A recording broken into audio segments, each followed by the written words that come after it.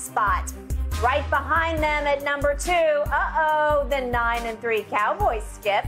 These two still have a meeting left Christmas Eve on Fox. Shannon, we'll start with you. On a scale of 1 to 10, what chance do you give the Cowboys of catching the Eagles and winning the NFC East? Come on. Point five. So, Point five? Yeah, somewhere between one and zero. You can never say never. Um, anything can happen. But the Cowboys are still two bank, two games behind the Eagles, and because the Eagles are already beating them, so they theoretically that's a half a game. So I, I like where the Eagles are. If I'm if I'm the Eagles, given a choice with five games to go, which would you which position would you rather be in? The Eagles two games up or the Cowboys two games back?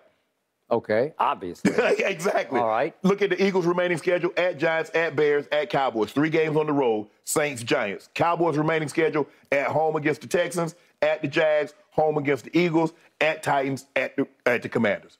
So basically, you got to hope they lose two games, and basically, you got to win out, Skip. Mm. That's what you got to hope for. Mm. You see that happening? I don't. So you're going on the road. You're taking your show on the road. Mm. So get ready.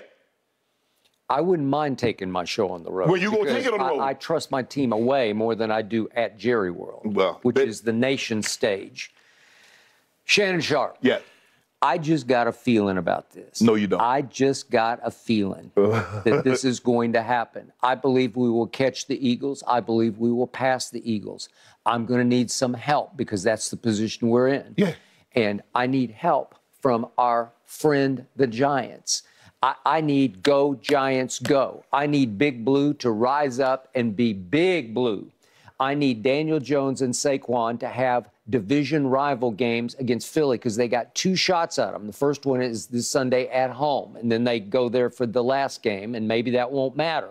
But It won't. this this would be the game that they could rise and shine for us. They could do us a huge favor because we are going to beat the Eagles on Christmas Eve. It's done, guaranteed, booked. We are going to beat them. We will wreak revenge on them.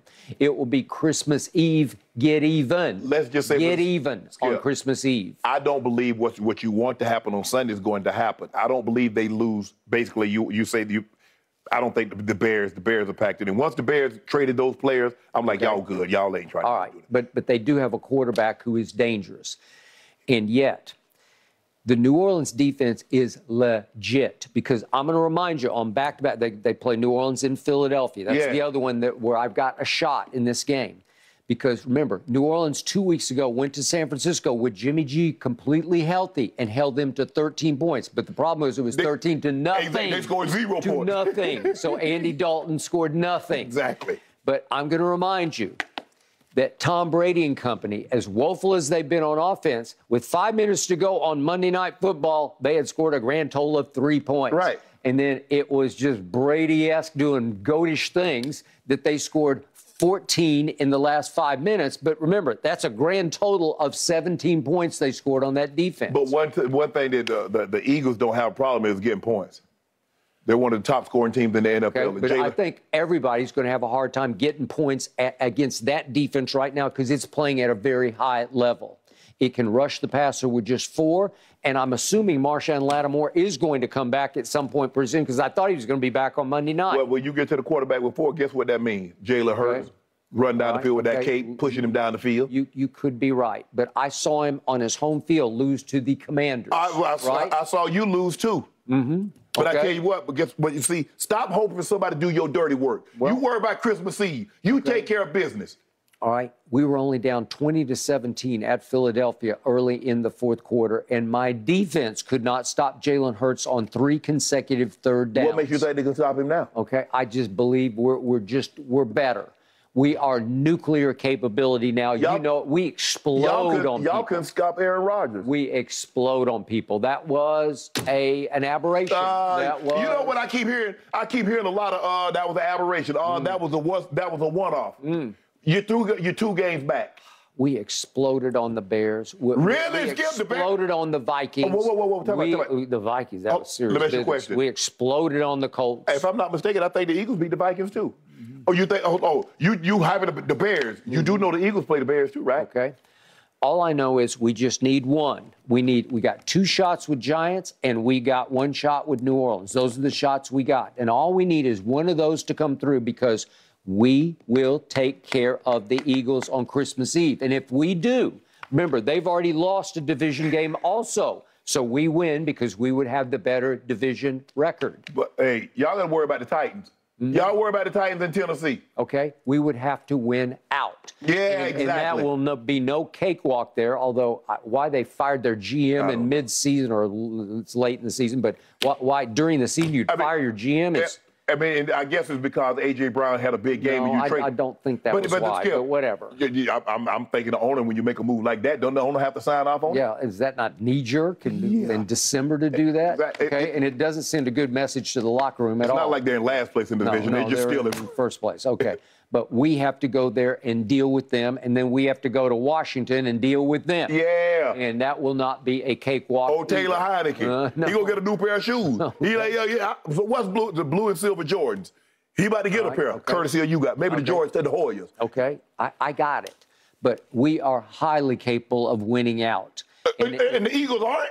Okay, well, I'm just saying that they're fallible because I saw them lose to the Commanders at home. I've saw I've seen you lose three games. Okay, but we lost to the GOAT on opening night, and Dak stunk, right? So hold on, y'all lost to somebody else too. Y'all lost to the Eagles. Mm-hmm. So they we ain't got we no- lost at the Eagles on And, a then what, Sunday and what about Aaron Rodgers, who you got little no respect for? You Okay. say he done mailed it in. Well, I, you know, I told you, I first guessed that. I told you he's like Dracula to us. He sucks our blood. He mm-hmm. sucks us dry, and he did it again. Mm-hmm. Yep. He came back from the dead. We, we didn't drive a stake through his heart. We had him down 28 to 14 going to the And what, quarter. Eagles, and what did the Eagles do to him? Okay, who looked like the better team that day? We did. No, y'all didn't. Oh, stop. Y'all did for three quarters. Y'all Okay. Mm-hmm. looked like the better team for three quarters, and then, he, then they stepped on the gas and took off. yeah. and then what happened? You know what? You're going to have a long, hard finish to this year.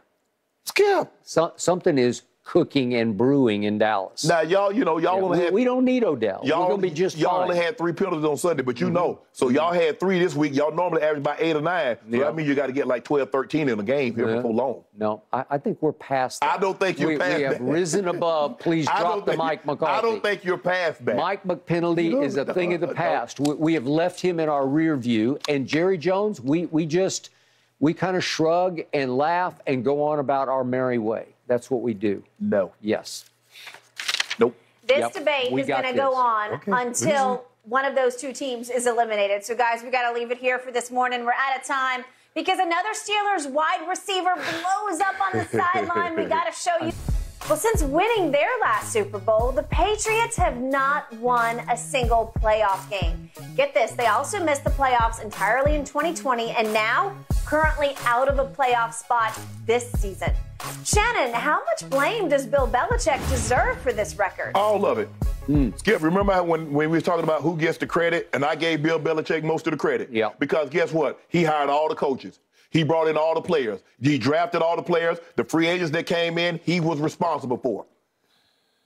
He ran Tom Brady off. He did. He's responsible for that. Mm-hmm. So if I gave you the lion's share of the credit, I'm giving you all the blame because your your pride, his stubborn pride, won't let him go outside of his outside of his little minions Yep. and hire somebody that, that's called plays, that's an offensive coordinator. Well, let me get Matt Patricia. He's a mecha- mechanical, electrical, nautical engineer in, in uh, uh, aeronautics. Let we gonna let him call plays, even though he's never been on the offensive side. Let me get Joe Judge. He was a special teams guy. He might call some plays too. Mac Jones has regressed. Mac Jones looked like a, looked like a very good quarterback, a very young, promising quarterback Yep. last season, and now he got two knuckleheads that never called plays before in their life because Coach Belichick pride. His pride, I want more credit than Tom Brady. He ran Tom off. Yep. He getting all of it because remember he got those uh, uh, uh, drafted those two tight ends, ended up cutting both of them. He did. He uh, Hunter Henry, Jonnu Smith paid them a ton of money. They just some guys. Mm-hmm. Took Mr. Kraft money run. Mr. Kraft looking like what, what Billy. That we call him Billy. What, mm-hmm. what are we doing? Now, what are you doing? I'm, I'm messing up your money, Mr. Kraft. I gave you, I gave you six in 20 years. That might be all I got for you. They ain't winning no championship anytime soon. And I think he's a. I still believe he's the best coach.